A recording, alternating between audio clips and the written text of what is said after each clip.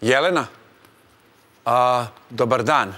A, gledaj, ja kažem dobar dan i želim nekako da započnem razgovor sa tobom, a pravo da ti kažem, a, evo i pričam s, na, na ti sa tobom, jer nekako kada pričamo o tim nekim stvarima koje nas bole, bliski smo ne, nego, nego, nego u nekim bilo kojim drugim. Ne znam uopšte u kom stanju se trenutno nalaziš, o čemu misliš, na šta računaš, koliko si razočarana i koliko si tužna.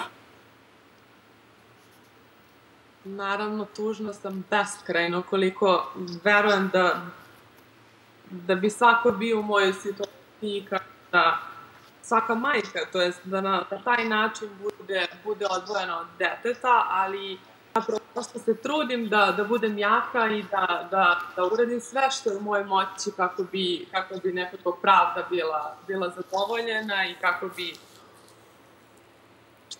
se na kraju prosto sve završilo dobro, kako sve bilo dobro i za dete i za mene. Da, ajmo, ajmo, ajmo, ajmo iz početka, molim te. Mo, moguće da neki naši gledoci to nisu ispratili. A, da nam ispričaš šta se desilo. Mijetila sam da, da je došlo do nekog lapsusa, da smo mi svi državljani Republike Švajcarske. Um, mi smo svi srpski državljani, svo troje, venčani u Beogradu i dete mi se rodilo u Beogradu. Živeli smo u Beogradu do nekog oktobra 2002. godine, kada smo se preselili u Švajcarsku od prirode posla mog supruga. Svakako odnosi od nisu, nisu bili baš najbolji, čim je došlo do toga u decembru mesecu sin i ja putovali u Srbiju uz naravno dogovor sa mojim šta više on nam je kupio karte. Nakon nekoliko dana došao je i on sa nama i prosto došlo je do eskaliranja opita gde sam ja podnela tužbu za razvoj braka i sa zahtevom za određivanje privremene mere za dodeljivanje deta dok se proces ne završi.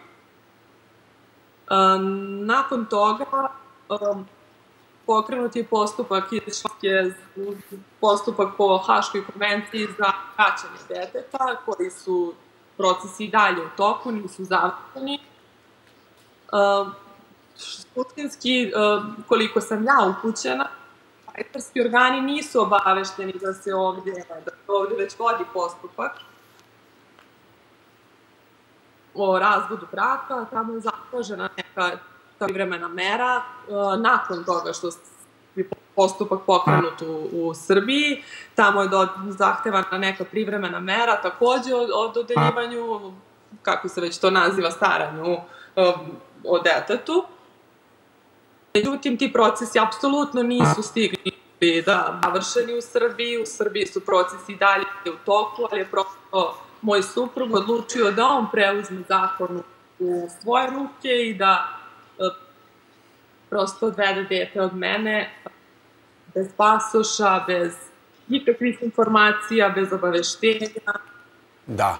Jelena, Jelena, evo čuli smo taj prvi deo priče. Ja ću te zamoliti da ostaneš sa nama na vezi. A, veza nam nije najbolja, a ja bih voleo da te dobro čujemo.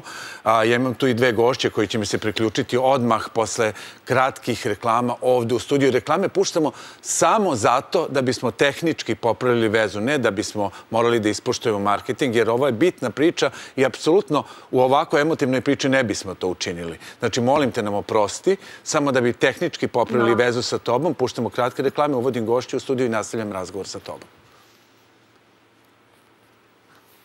Evo, ja ću zamoliti. Evo nas ponovo u studiju. Pridružila se mi se Ana Selak, advokat. Posle ću pričati sa tom i da ti čestitam kasnije, nego hoću da ostanem. I Tatjana Macuna, udruženje Majke. A, odmah ću da se prebacim tamo. Video, video sam vas da pratite ovde. Skraju onda je bilo bolje da uđete u studio, pa onda zajedno da pratimo ovu situaciju koja nas je sve potresla.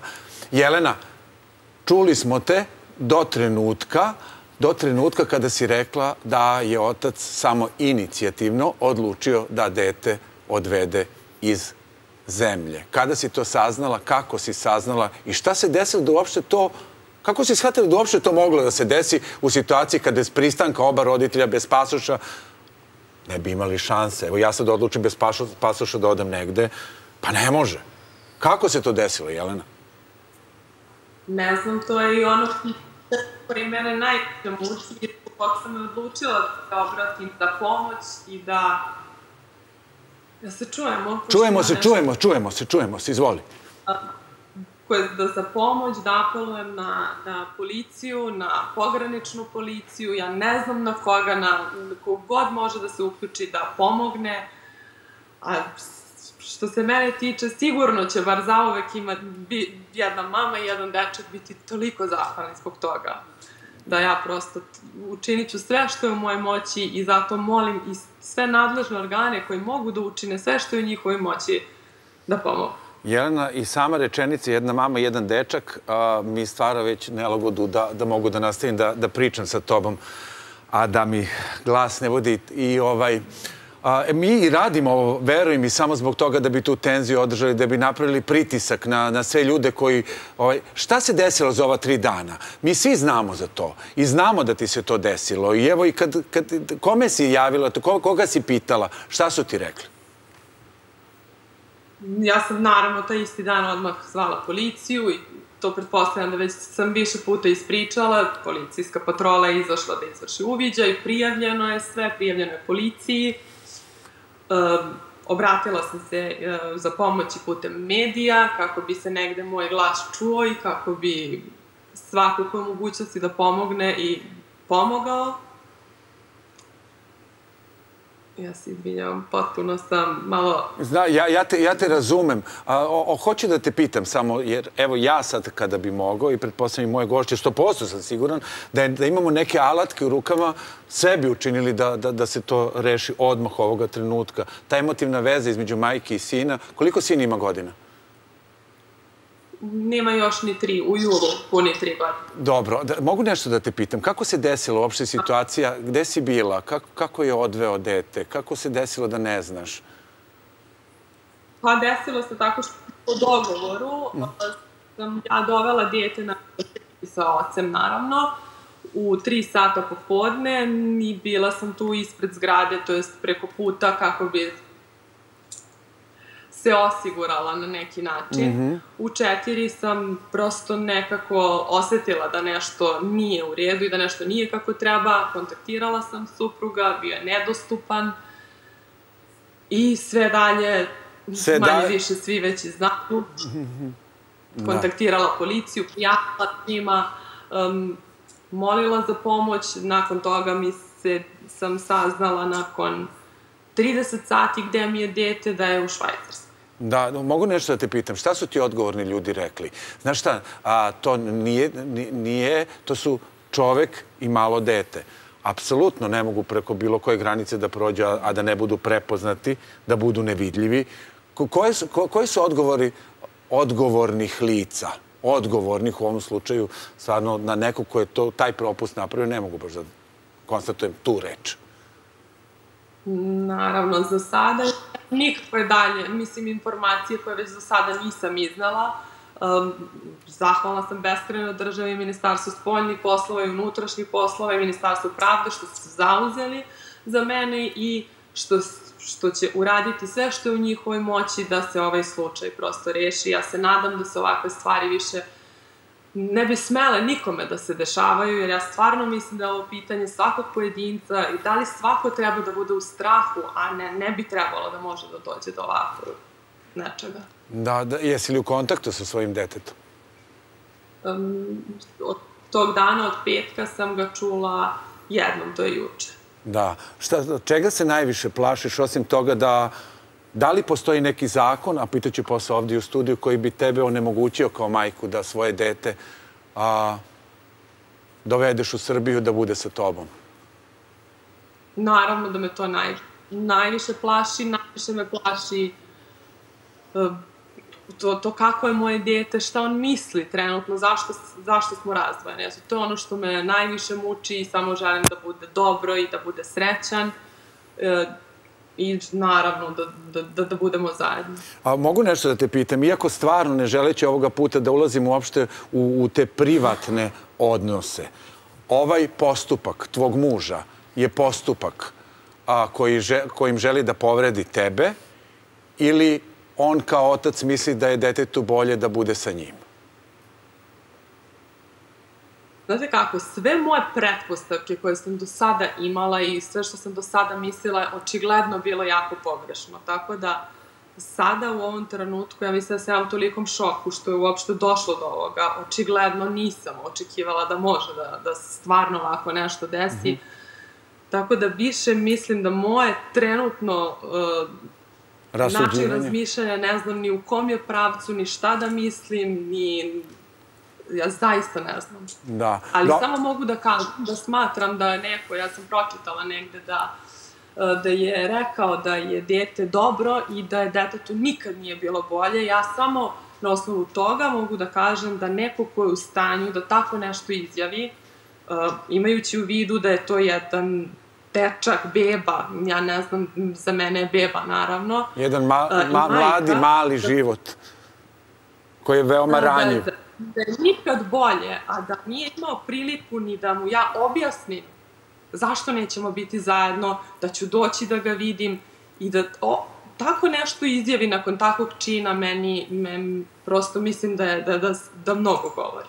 Još samo jedno pitanje. Sigurno su morali da ti kažu, ali ja, ja se stavljam, ne mogu ni da zamislim da budem u tvojoj poziciji, ali stavljam se samo, da li su ti rekli gde, na koji način, kako je moguće da neko izađe iz zemlje?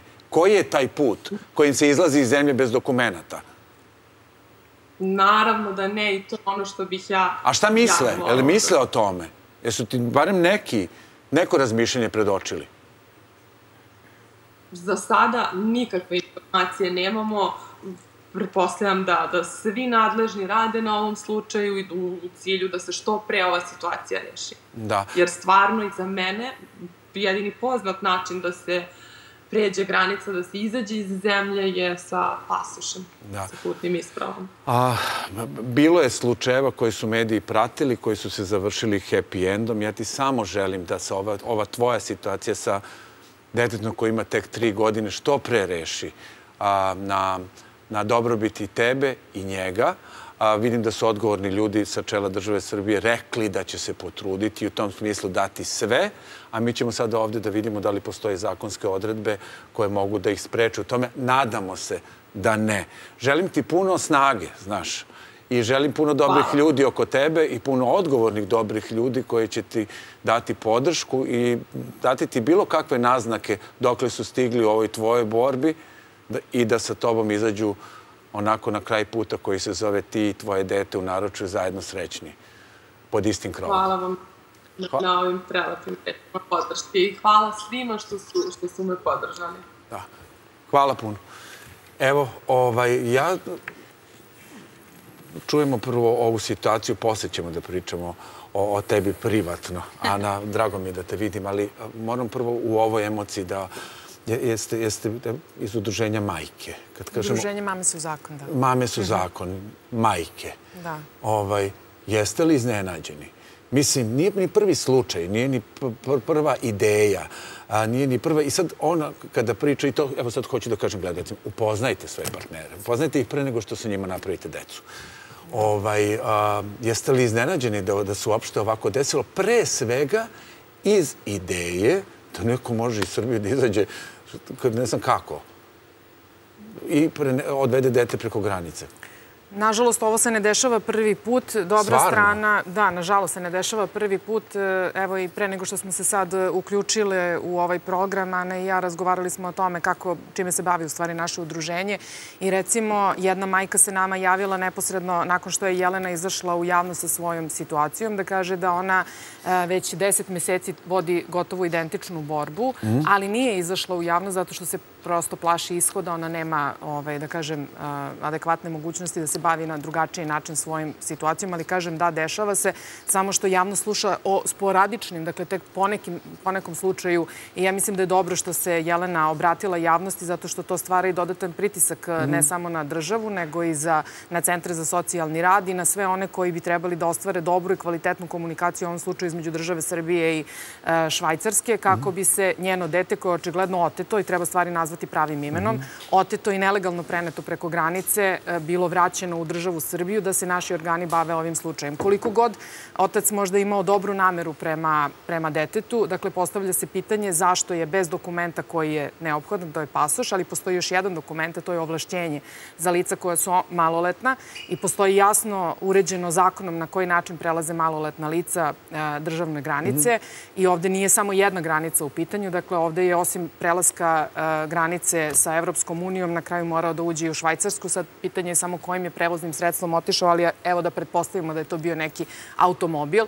Dakle, najmanje se radi od dva prelaska granica i ovde se radi o očigledno osobi koja je bila jako dobro organizovana i dobro osmislila je plan kada ovo da izvede, obzirom da se radi o prazniku, kada je i frekvencija na graničnim prelazima veća, kada su i ljudi koji tu rade onako prebukirani, verovatno zbog mnogo velikih, da kažem, zbog većeg broja situacija u kojima se ne dovodi u pitanje to da li neko sa lošom namerom prevozi dete preko granice je možda trenutak nepažnje, ali takođe postoje i ovaj, e, e, kako se zovu kamere na, na graničnim prelazima i veoma, veoma lako može da se utvrdi da li je ova osoba sa sobom imala e, dokumenta, ako ih je imala odakle mu, obzirom da se pasoša, to nismo sad čuli od Jelena, ali znamo iz medija ranije, da, ovaj, je pasoš se na, da se pasoš nalazi kod nje. Dakle, kako je moguće da je on prešao granični prelaz sa maloletnim detetom, da mu niko nije tražio niti putnu ispravu, to je mhm. pasoš, niti ovlašćenje koje u slučaju ovakvog prelaska granice, dakle, moraju mora da bude potpisan od strane majke. Samo još malo da ostanemo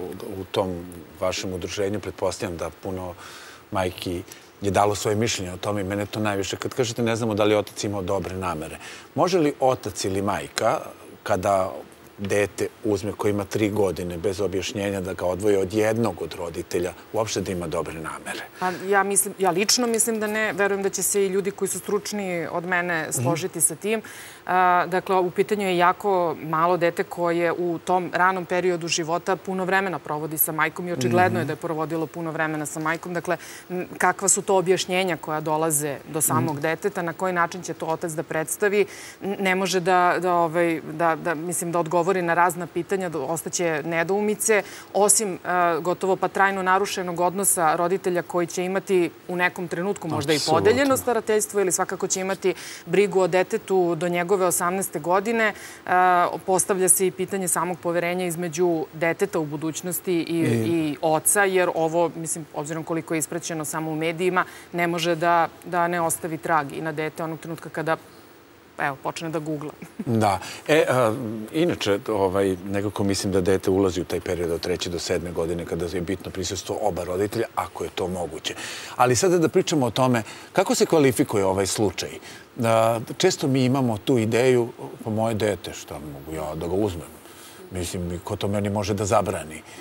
Kako zakon vidi ovu situaciju? Kako zakon vidi ovog oca koji je dete oduzeo majci u ovom slučaju i odveo ga sa sobom. Nažalost, zakon ne vidi da je otac oduzeo dete majci u konkretnom znači, ovo što, slučaju. Ovo, ovo što, što je rekla ona, da, da je on oteo dete, zakon to tako ne vidi. Kolokvijalno rečeno jeste, ali po slovu zakona nije. Ovo ne bi bila, nažalost, ni otmica, ne bi, nažalost, bilo ni nezakonito, e, nezakonito odvođenje maloletnog deteta, što, što bi bilo bliže. Zato što mi nemamo ni jednu sudsku odluku koja kaže da je majka ta koja samostalno vrši roditeljsko pravo. Dok mi nemamo takvu odluku, mi nemamo krivično delo, jedno mhm. od ova dva, i mi ne možemo da posmatramo oca kao nekoga koji je oduzeo dete, nažalost, zato što i on je trenutno staratelj. On može da se pojavi za dva dana i da kaže mi smo otišli kod babe na Vaskrs u mhm. Švajcarsku. Jel se slažemo? Tako da... Ne slažemo se samo zato što dete nije imalo dokumenta.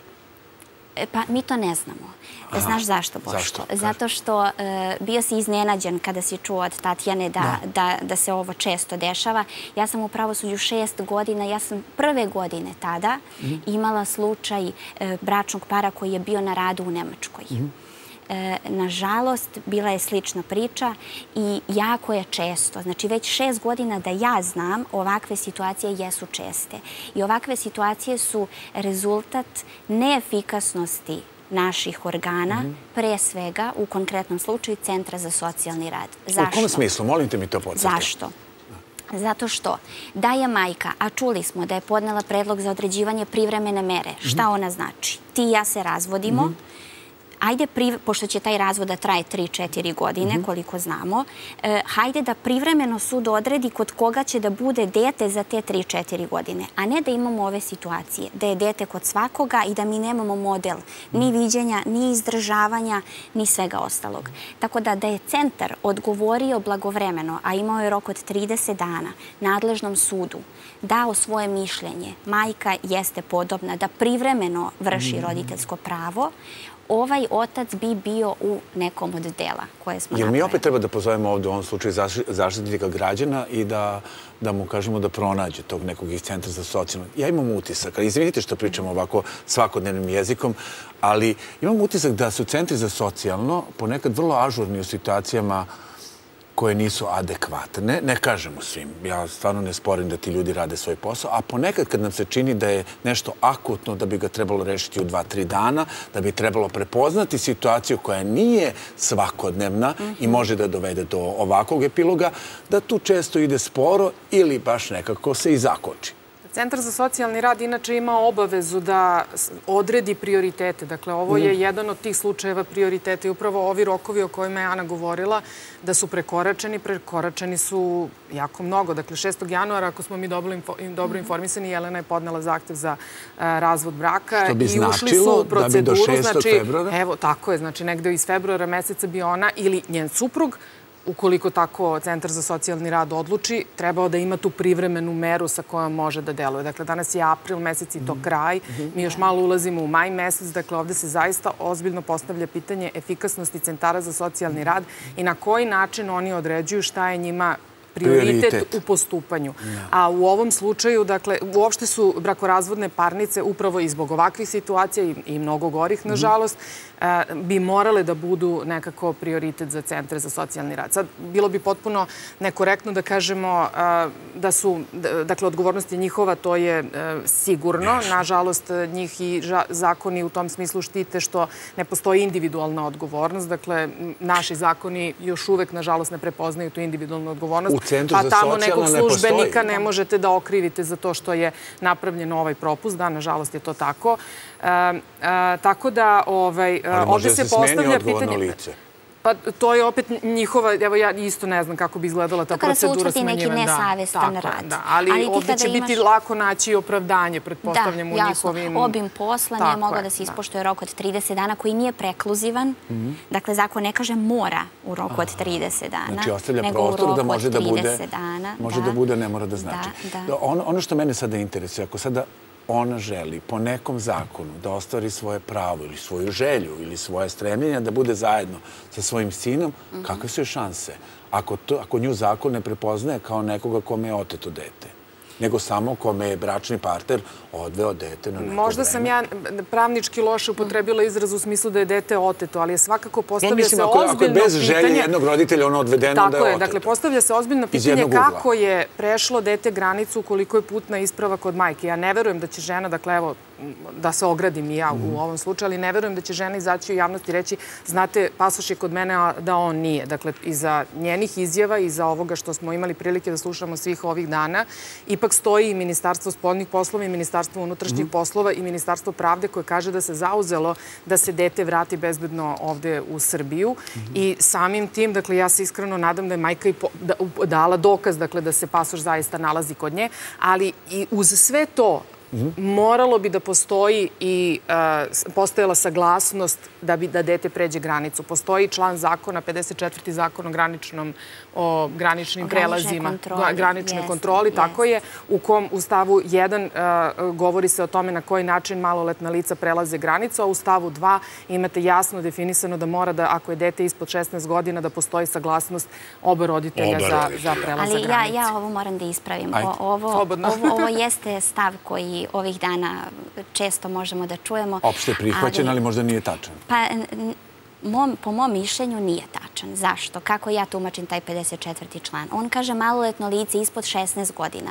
Kada je samo ili u pratnji drugog lica koje mu nije roditelj, roditelj, a njega je u ovom slučaju preveo roditelj, onda je potrebna saglasnost oba roditelja. Dobro, ajmo... Dakle, e, pogrešno se tumači. Nije nužna saglasnost oba roditelja kada jedan od roditelja koji vrši roditeljsko pravo prevodi dete. Kada roditelj ne vrši roditeljsko pravo, a to bi bilo u situaciji da je majka imala privremenu meru, onda bi on to protivpravno učinio i onda bismo mogli da imamo neko od ova dva krivična dela. Šta ostaje? Ostaje samo jedna stvar koja može da bude u korist ove majke, a to je da je bio potreban dokument važeći. Jeste, ali slušala sam Tatjanu. Ja, nažalost, mora... Ja sam mnogo ovakvih slučajeva Ne, ne, ne, ali, ali baš je dobro. Znači, toliko ima modusa da ja, mala je ova emisija da ja, da ja to vam Otac je očigledno to izučio. Mi imamo i dvojna državljanstva. Mi nikad ne možemo da znamo da li mi nikad ne možemo da znamo da li dete ima drugo, drugo državljanstvo, samim tim i novi pasoš.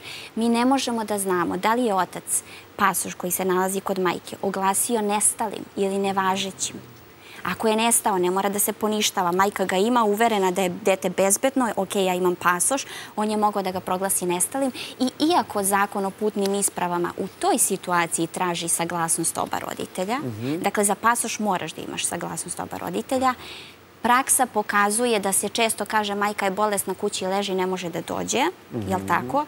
i policijska uprava izda, izda pasoš. Znači, ti si dala mogućnost da se uradi, da se uradi novi pasoš da je urađen ovde, ali si dala i drugu mogućnost da je urađen tamo, negde u Švajcarskoj, gde su oni imali radne dozvole. Jeste. Ili ako otac ima drugo državljanstvo, on je mogao, e, dete može da ima državljanstvo roditelja druge države. Mhm. Tako da mi to ne znamo. Ja znam za očeve koji su mimo znanja majki e, izdavali nove... Da majka i ne zna da dete ima drugo državljanstvo. Kakve su šanse onda ove majke, ako se pokaže da je otac i uradio bez njenog znanja dokument, da je sada to po proceduri ili po nekom zakonu otac ima pravo da u sebi ima dete, jer nije bilo određeno primjereno starateljstvo.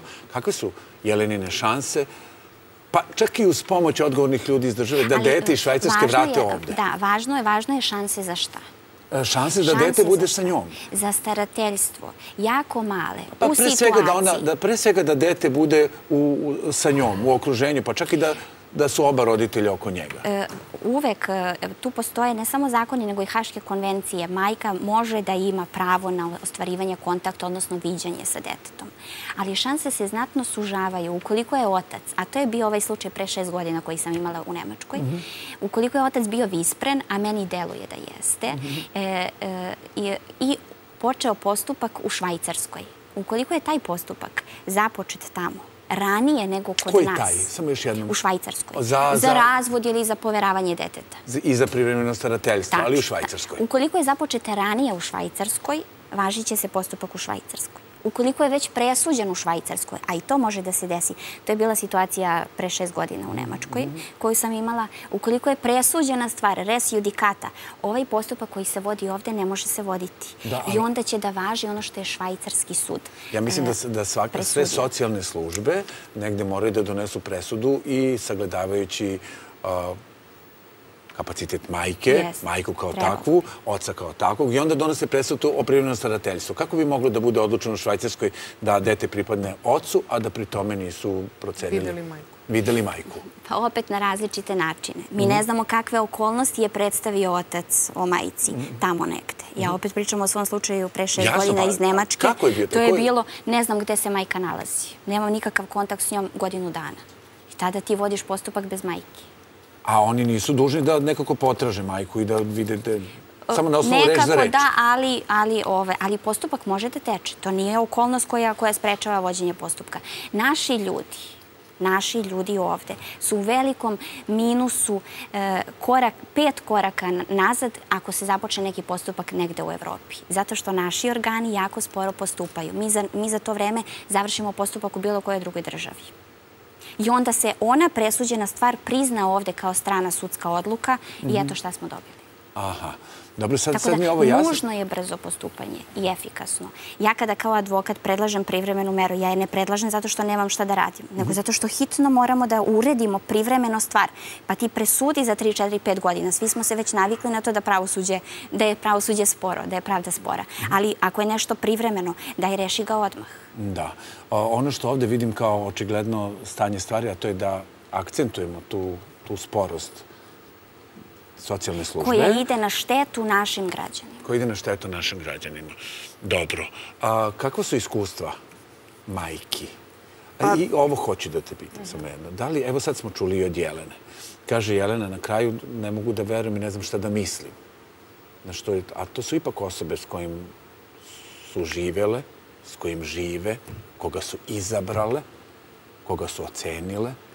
Kako, šta kažeš u prilog tome nekim drugim ženama Pri tome želeći... zna gde će da padne, on bi seo. Tako da ovaj, verujem da je i najbolja pa namera ove majke da ne uskrati i zadovoljstvo i ocu i detetu da se viđaju rezultirala ovakvim Ne mislim na to, ne mislim na to. Ne mislim na to. Ja mislim da. da je to ona uradila baš kako treba, jer ne treba, ni, da. i očevi su tu jednako bitni za, za život dece kao i majke, osim što mi uvek više volimo majke, moram da, da kažem. Ali kad biramo partnere, kako ih onda procenjujemo? Otkuda ovakve ideje? Otkuda to da kada se neko promeni, a promeni se? Verujem da je poslednja stvar o kojoj razmišljate kada upoznate osobu sa kojom želite da započnete život, recimo ovakva situacija. A ja mislim da to treba da bude prva. Pa, da, ali u praksi se to verovatno ne dešava skoro pa nikad.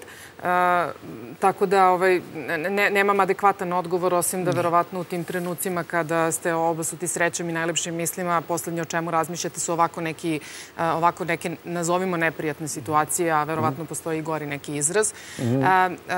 ja bih svakako uputila reči podrške Jeleni i da zna dakle, da, da, da, su, da su majke prilično uznemirene i vrlo potrešene. Ja vam kažem da su se nama, iako se mi inicijalno ne bavimo ovakvim problemima, javljale se već žene da prosto ukažu na to da imaju probleme sa centrima za socijalni rad, da su prilično duge procedure u kojima oni učestvuju, da je visok stepen korupcije takođe, da ove se čak i ovaj slučaj može povezati recimo sa delovanjem raznih nekih advokata koji možda čak i savetuju svoje klijente da urade nešto ovako zato što znaju da, ili znaju da ih posavetuju na pravi način. Dakle, nisu svi advokati savesni u svom poslu i ne zloupotrebljavaju poziciju i znanje koje imaju, ali ovaj, ja bih se ovde samo isto vratila na jedan moment eh, onoga što je Jelena govorila, to je da ona je rekla da je ovaj postupak započet najpre ovde u Srbiji, pa tek onda u Švajcarskoj. Dakle, da ona ima to, tu informaciju, ona je to malo pre rekla Ali u svom ono što je Ana rekla, ona ima tu informaciju, što ne mora da znači da je ispravna. Da, ovaj, ali ja se eto da, iskreno nadam da je možda napravljen jedan korak više i da će ipak naša država učiniti ja, sve što Ja se isto nadam. Nemoj da misliš da se ne nadam, nego samo želim da i ovaj, sve instance probam šta bi moglo dakle, da bude... Dakle, postavilo bi se i pitanje onoga ko donosi odluku i recimo presudi u korist oca koji se ovako ponaša, dakle, ili da mu neku veću prednost u odnosu na majku, e, postavilo bi se pitanje zaista da li je, da li je normalno da uopšte ne obavestite drugog roditelja ukoliko e, vidite da se roditelji jednako dobro staraju o detetu, da vi ne obavestite uopšte drugog roditelja šta se dešava i šta planirate, pa čak i da je situacija u kojoj će on napraviti izgovor i reći evo odveo sam da uskršnje praznike provede sa, sa da, babom da. i dedom. Apsolutno. Moram, Ana, tebe nešto da pitam kada, kada ja neću samo da, da pogrešim Tatjana, mm -hmm. inače ja mogu to imena da ja pridodelim ono kako mi izgleda tog trenutka, ali ovaj, navikla sam. Navikla sam, da, pa Tanja me često zove, e, pa kao Tatjana uopšte. E, ovaj, hoće, juče smo pričali sa Tanjom Rigonat, rediteljkom, i pričali smo o krivici generalno. Mm -hmm. a, imamo ovu zakonsku krivicu, mm -hmm. pa imamo političku krivicu, kao nekoga ko je, ko je deo jedne nacije, koja kroz u svom istorijatu uradi nešto. Pa imaš i taj deo političke krivice, jer si deo toga. Ali ova metafizička krivica, uh -huh. da mi u stvari ne moramo ništa da uradimo, da budemo prisutni, ali sa druge strane, što kaže Tatjana, da posavetujemo nekoga koje, koje će učiniti krivično zlo. Da li advokati ponekada imaju savetujući ljude kako da zaobiđu zakon i za sebe, da urade sebi nešto ok, u ovom slučaju, na primjer, da odvede dete, ima taj deo metafizičke krivice. I da li može da se smatra odgovornim za savjetovanje da nekako ova ovoj majci bude otuđeno dete? E, mi nikada ne znamo sve okolnosti. Ja uvek kažem, ja znam klijentovu istinu. Ali evo pitam te za ovu okolnost. Ja te pitam za ovu okolnost. Baš sam ti istorio slučaj. Ja, jasno je to meni, ali, ali nema tu krivice. Ti si rekao da, da učini krivično delo ili tako nešto, da, izver, da izigra zakon. E, otac do sada nije učinio ni jedno krivično delo, sem ukoliko dete zaista nije imalo pasoš, pa je nedozvoljeni prelazak granice. Sve ovo ostalo on je raspolagao e, vršenjem roditeljskog prava. On ima pravo da sa detetom, da ima slobodu kretanja, gde će da Jel me razumeš? Da, ali da, ponekad naša e, prava ugrožavaju htenja nekih drugih. Dete ne može u tom trenutku da kaže ja neću da idem od mame ili ja neću da idem samo s tobom ili neću samo da ostanem kod mame. Ono pitanje da li dete od dve i po godine zna gde je pošlo. Ja hoću da budem i sa mamom i sa tatom. Slažem se. Iako to ne može da implicira... Ali roditelj jeste zastupnik deteta, tako da on donosi odluke u njegovo ime. E, pitao si malo čas da li da li je, ovaj, da li je on ispravno postupio i tako nešto slično. On veruje da je ispravno postupio. Zato i ja nikada ne mogu da znam uh, objektivnu istinu. Ja znam klijentovu istinu i ja se nje držim jer njega zastupam. Jel tako? Ja nikada ne mogu znati sve okolnosti slučaja, kao što mi ovde danas ne znamo sve okolnosti slučaja. Ja, ja volim kako ti pristupaš ovoj temi. Bilo bi mnogo lagodnije da si odmah na strani ovako i da zakon stavljaš po, po strani, ali ti bukvalno nam analiziraš zakon i govoriš nam da u stvari ovaj slučaj, bez obzira koliko emotivno teško prihvatam ovoj situaciji iz aspekta emotivnog odnosna majke i sina, za sada nam ne garantuje da zakon to vidi kao pres, Jeste. Jeste. Ja pružam punu podršku majici, zato što sama sam, sama sam majka. E, praksa pokazuje deca do pet godina jako redko se daju, se daju e, ocu. Mhm. Da, da. Dakle, do pet godina dete jeste strašno vezano za majku. I u ovom slučaju bi u najvećem, u, u najvećem procentu dete bilo dato ovaj, na starenje majici. Ali prosto moramo objektivno gledati. Dobro. Da li će vaše udruženje uložiti prigovor ili nekako imati neku inicijativu da postavi vidljivim nečinjenje ili sporo činjenje socijalnih službi kao kontraproduktivno u odnosu na ovako ovako emotivno teške i vrlo osetljive situacije kada su roditelji i deca u pitanju.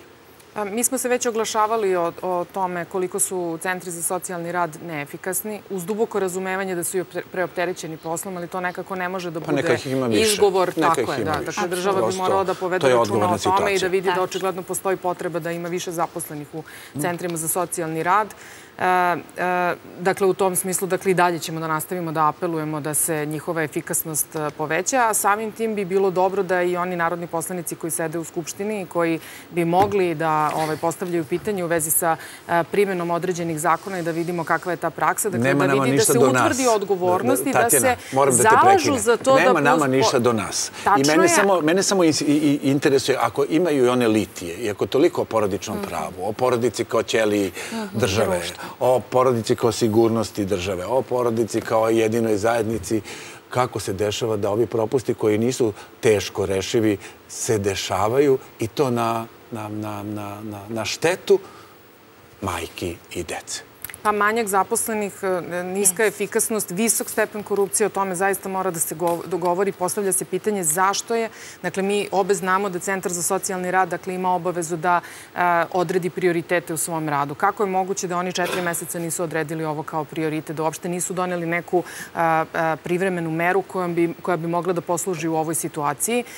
Dakle, čak i ako je u pitanju da li je možda postupak započet u Švajcarskoj, dakle, očigledno je ovde došlo do niza nekih propusta da ni sam Centar za socijalni socijalni rad ne zna ništa, da se tek sada utvrđuju neke činjenice da vidimo da li postoji neki postupak koji se vodi u Švajcarskoj ili ne, a u svakom slučaju ovde u našoj državi ova majka, ni taj otac, dakle, koji je takođe bio tu očigledno sve ovo vreme i majka mu nije uskraćivala viđanje sa detetom ni u prethodnim nekim situacijama. Dakle, nije ovo bio jedini slučaj da su se oni videli. Oni su se viđali i u nekoliko navrata pre toga. Ali očigledno odnosi nisu dakle, bili kako treba čim majka je bila ispred i tako dalje. Dobro, želimo da se što pre ova situacija reši na, na, na dobrobit i deteta i majke i oba roditelja, ako je to moguće. Koje su nam zakonske poluge? Ako kažeš, moglo bi da bude da je sve po zakonu, koje uopšte zakonske poluge? I da li postoje bilo kakve zakonske poluge da se odavde reaguje, pa da dete opet dođe u zemlju? U najboljem slučaju jeste ako ne postoji postupak u Švajcarskoj. Da. A postoji još jedna svetla opcija, to jeste da majici e, po Haškoj konvenciji najbrže će biti omogućeno viđenje deteta, mhm. to definitivno, ali čak e, ni u tom slučaju po Haškoj konvenciji neće biti vraćeno majici ukoliko već postoji odluka u Švajcarskoj, tako da definitivno majka hoće ostvariti kontakt s obzirom da je sada ušla u proceduru, a da li će dobiti starateljstvo, to zavisi od mnogih, od mnogih drugih okolnosti. Ali ovakve stvari će nam se ponavljati sve dok nemamo, to je ono što je moja ideja koja verujem da, da se neće ostvariti. Centar za socijalni rad je jako teško reformisati, niko i ne počinje takav postupak, mhm. ali mi imamo privredni sud gde vodimo računa o nečijem kapitalu, imamo upravni sud gde vodimo računa o nekim aktima, a nemamo porodični sud gde vodimo računa o porodici, a toliko se zalažemo za istu. Ne možemo sudnica do sudnice da vodimo računa o nečijoj međi i o nečijem detetu to prosto nije, nije dopustivo. Nije Da, tako da dok to nemamo, nećemo imati efikasnost, nećemo imati brze odluke i naši građani opet, ovo nije prvi slučaj za koji ja znam, e, će uvek biti pet koraka e, Iza. tačno. A, a stalno se busamo kako smo brzi, kako smo ispred drugih. A dobro, a hoću nešto da te pitam. Da li dete ako je rođeno ovde, a roditelji imali radnu dozvolu u Švajcarskoj. Da li ono po defaultu ima i švajcarsko državljanstvo ili ne? Pa ne znam uslove za švajcarsko državljanstvo, ali ne bih rekla. ne bih rekla da Švajcarska daje po defaultu. Dobro. Ja sam želeo da te vidim i ovako, ovaj, bez obzira na ovu temu. Ovo, ovo je prvi put da se viđemo od kada si postala mama. Dobro. Bez stomaka. ne, od kada si postala mama. A kako je? Spavaš dovoljno? Ne. Mislim da se vidi, zar ne? ne, lepa znači, kao i uvek. Na tri sata. Evo, ko je rekao, Mirko? Mirko kaže ne, Mirko kaže lepo kao i uvek, ovaj, spava kao beba, to u tom slučaju ne važi. Ja ne znam ko je to izmislio. beba ne spava. Ja mislim da taj nema decu ko je to rekao. tako da, ovaj, buđenje na tri sata, da, da.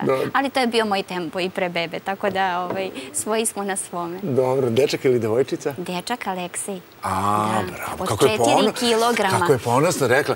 Dečak Aleksej. Aleksej, da. Dobro. A, hvala puno što ste bili današnji gosti šta da se radi? Ništa, vršimo inicijativu, nekako ovde stavljamo i postavljamo kao vidljivim da treba razmišljati o tome i treba naći stvarno odgovorne. Nema dovoljno ljudi, treba više ljudi.